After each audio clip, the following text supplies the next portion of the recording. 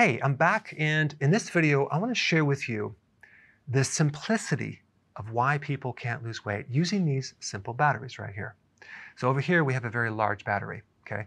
This would be equivalent to your fat, okay? An average person who is not overweight is carrying around about 100,000 calories of potential energy. A person that is overweight or obese is carrying probably double that, 200,000 calories. I think that's like 13,000 grams of fat, okay? Now, over here, we have a smaller battery or energy storage. This is called glycogen. This has 1,700 calories of potential energy. So we've got 100,000 to 1,700.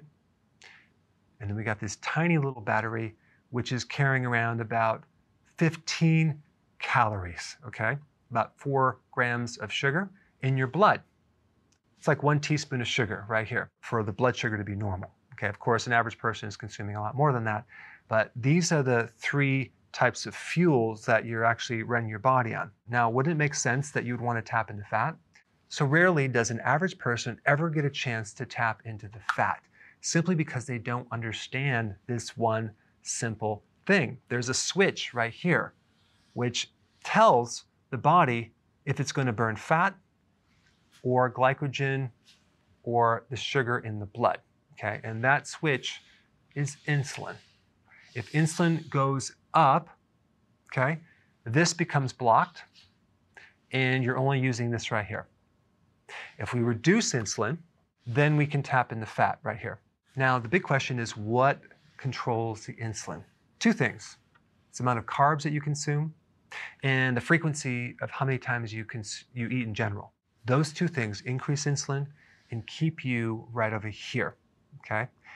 If you consume a lot of carbs, like a lot of people do, an average American consumes over 250 to 300 grams of carbs, okay, every day.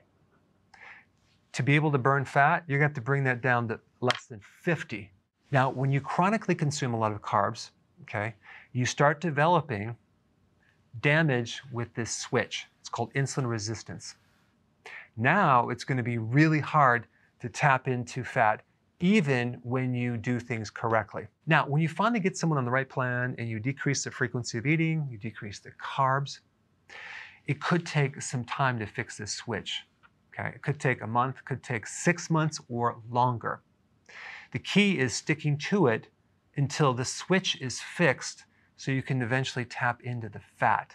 And this explains why it takes some time with certain people to really tap into the fat simply because they have a lot of insulin resistance, because they've done the carb thing chronically too long. The best thing to do is to focus on other indicators of health because it's get healthy to lose weight, not lose weight to get healthy. I'm talking about your cravings and your hunger.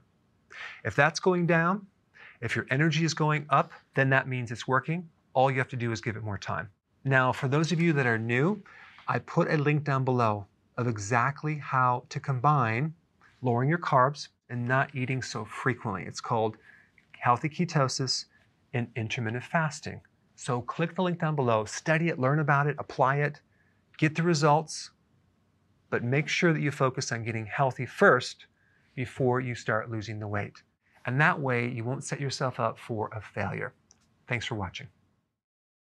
So if you want more knowledge on how to create a healthy body, subscribe now and get daily notifications.